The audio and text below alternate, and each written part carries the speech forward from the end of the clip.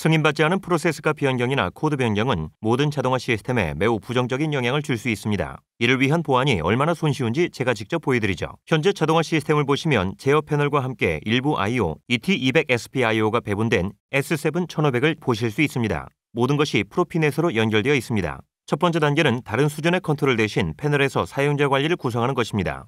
여기로 와서 이 패널 아래 관리로 들어갑니다. 자동으로 미리 설정된 두 개의 사용자 그룹이 있는데 관리자 그룹과 유저 그룹입니다. 관리자 그룹은 실제 사용자 그룹에서는 작동과 모니터링이 가능합니다. 완벽하군요. 두 개의 새 사용자 그룹을 설정하겠습니다. 먼저 어드민을 추가합니다. 그냥 AD를 이름으로 사용하겠습니다. 암호를 입력합니다. 123 다시 확인합니다. 123 OK를 클릭합니다. 두 번째 사용자를 설정합니다. 운영자용이니까 그냥 OP를 이름으로 설정하겠습니다. 암호는 456. 이것도 한 번 더 확인합니다. 456. OK를 클릭합니다. 패널을 보시면 여기 첫 번째 보기가 유지관리 화면처럼 보일 것입니다. 해당 파트가 켜지거나 꺼지는지, 펌프와 믹서도 실제로 작동되는지 확인하고 실제 용기의 레벨도 확인합니다. 실제 컨트롤 기능은 없지만 우선 할 것은 운영자 컨트롤로 이 펌프와 믹서를 켜지게 하는 것입니다. 화면으로 가보면 Mix Machine 버튼이 보이는데 이걸 선택합니다. 실제로 여기 상단 부분에 믹서, 펌프라고 불리는 아이콘을 선택해서 포커스를 줍니다. 마우스 우클릭해서 속성으로 갑니다. 하단의 Security로 내려가서 오퍼레이터를 선택하고 Operator Control을 허용해 줍니다. 다음 할 일은 밸브 1에 관리자 권한을 부여합니다. 바로 여기 있죠. 예를 들어 reference를 변경할 것인지 안 할 것인지 이런 게 관리자 수준입니다. 포커스를 주고 Property 탭 아래 Security 탭으로 내려와서 User Administration을 선택합니다. 이제 이 패널에 포커스를 주겠습니다. 다운로드 화살표 버튼을 클릭하고 지금까지 만든 변경을 컴파일합니다. 실제로 이 두 개의 다른 버튼들의 사용자 관리를 추가했던 것을 컴파일합니다. Overwrite All을 선택하고 Load를 클릭합니다. 실제 사용자 관리로 새 구성 다운로드합니다. 지금 작업하고 있는 게 보이시죠? 그 다음 몇 초간 새로 고침을 실행할 것입니다. 새로 고침이 실행되고 이제 사용자 관리가 완료되었습니다. 자, 뭘한 거죠? 여기 Maintenance View가 있습니다. 물론 말씀드렸듯이 밸브들이 열려 있는지 닫혀 있는지 볼 수 있고 이 밸브를 통해 뭐가 지나가는지 확인할 수도 있습니다. 믹서 펌프로 들어옵니다. 이걸 클릭하면 되죠. User를 클릭하고 이름은 OP로 입력합니다. 조금 전에 OP라고 입력했었죠. 암호는 456으로 하겠습니다. OK를 클릭합니다. 이제 실제로 기계로 가보겠습니다. 실제로 펌프를 켜고 레벨이 증가하는 게 보이시죠? 믹서도 켤 수 있습니다. 실제 유지보수 화면으로 들어가면 유지보수 관점에서 볼 때 모든 게 완전하게 기능을 발휘하고 있는 걸 볼 수 있습니다. 모든 게 작동하고 있습니다. 레시피를 변경하는 건 어떨까요? 밸브 1로 와서 사용자를 클릭합니다. AD라고 정합니다. 관리자로 지정했던 이름입니다. 암호는 123으로 정합니다. OK를 클릭하고 밸브 화면으로 돌아가면 여기 실제 밸브 위치가 플러스 또는 마이너스 표시로 나타나는 걸 보실 수 있습니다. 이걸 조정해서 레시피를 변경할 수 있습니다. 자, 이게 누가 무엇을 한다 안 한다라고 지정하는 사용자의 HMI 관리 관점에서 본 표준 자동화 아키텍처입니다. 새로워진 점, SIMATIC S7 1500에 대한 디스플레이가 있습니다. 내장된 IP 주소가 있고 이것을 잠금 상태로 할 수 있을까요? 물론 할 수 있습니다. 어떻게 하는지 보여드리겠습니다.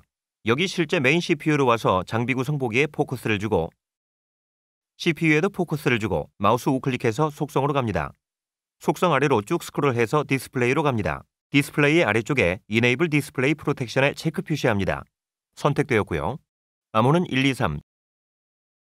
두 번 입력합니다. CPU에 다시 포커스를 줍니다. 다운로드 화살표 버튼을 클릭하고 이제 컴파일 할 것이고 이 변경들도 마찬가지로 포함해서 컴파일합니다. 이 디스플레이에 암호를 추가하기도 했습니다. 컴파일이 완료되었으니까 Stop All을 클릭할 수 있습니다. Load를 클릭합니다. Stop 모드로 들어가는 걸 보실 수 있습니다.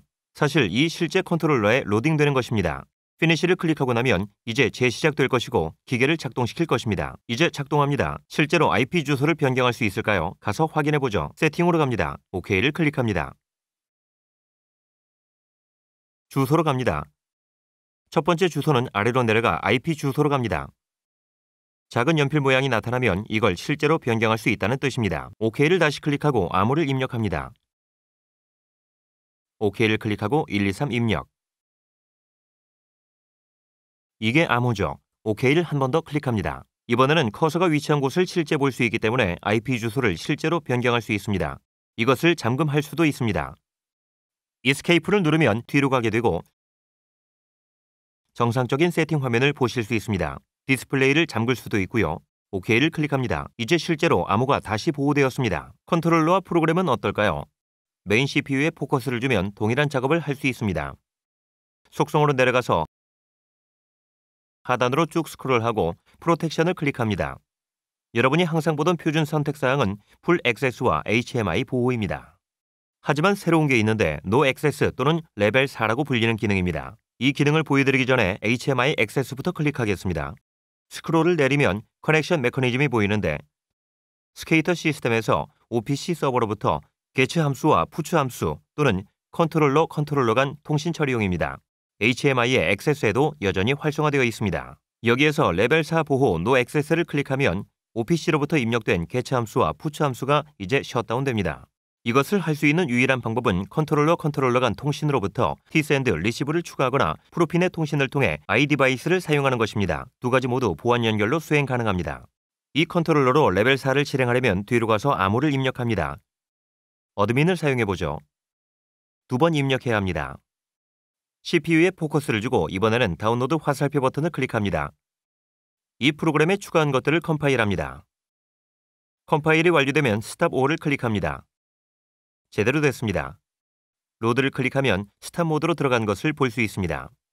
finish를 클릭하면 재시작되는데 이제 디스플레이에 작은 잠금 표시가 되어 있는 것이 보입니다. 컨트롤러도 잠겨졌다는 걸 의미합니다. 하지만 아직 연결이 있기 때문에 패널에서 전부 제어 가능합니다. 연결을 재설정하기 전까지는 제어 가능하지만 연결이 재설정되면 제어가 불가능해집니다. 실제로 runtime을 셧다운 해보겠습니다. 셧다운하기 제일 간편한 방법은 그냥 여기 빨간 버튼을 누르는 겁니다. runtime이 완전히 셧다운되면 재시작할 수 있게 됩니다. 재시작을 하고 나면 보호 CPU에 재연결을 시도하게 되는데 보시면 여기 bit field에 모두 hash mark가 표시된 것을 볼 수 있습니다. 두 개 펌프 모두 작동되지 않는 것처럼 보입니다. 레벨은 보이듯이 슬라이더는 제일 위까지 올려져 있습니다. 완전히 작동하고 있는 시스템인데도 HMI 패널은 이 컨트롤러가 보는 것을 전혀 보여주지 못하고 있습니다. 읽거나 쓰기를 할 수 없습니다. 이 문제를 해결하려면 이 컨트롤러에 직접 연결을 해야 하는데 연결로 넘어가 보겠습니다. 액세스 보호 암호는 admin입니다. HMI로 들어가 포커스를 주고 다운로드 화살표 버튼을 클릭합니다. 이제 컨트롤러에서 HMI로 이 새로운 레벨 4 보호를 작동했다는 것을 컴파일합니다. 컴파일이 완료되었으니까 overwrite all을 클릭합니다. load를 클릭하면 사용자 관리를 포함해서 원래 화면을 로딩합니다. SIMATIC S7 1500 컨트롤과 컨트롤 패널 간의 이 새로운 보안 연결도 로딩하는데 1500 컨트롤과 컨트롤 패널은 1500 컨트롤과 컨트롤 패널끼리만 소통이 가능합니다. 이제 전송이 거의 끝났습니다. 새로 고침을 할 거고요. 보시면 밸브 상태와 레벨까지도 확인하실 수 있습니다. 여기로 건너와서 이 밸브를 켜보죠. 이 슬라이더도 이동할 수 있는데 실제로 레벨이 변하는 게 보입니다. 이 컨트롤러와 HMI 패널 간의 보안 연결이 되었다는 것을 의미합니다. 이 두 가지는 실제로 상호 간에만 제어가 가능하고 통신이 가능합니다. 그래서 SIMATIC S7 1500 컨트롤과 컨트롤 패널은 이 모든 작업을 몇 분 안에 완료할 수 있는 겁니다. 이런 게 바로 엔지니어링의 효율성이죠.